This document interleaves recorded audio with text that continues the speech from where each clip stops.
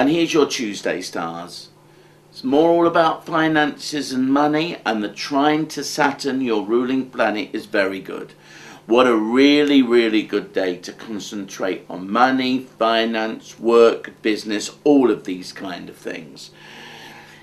If you want to really make your mark, if you want to succeed, if you want kudos and prestige in what you're doing, then today is a very good day to begin something. But remember, everything takes time.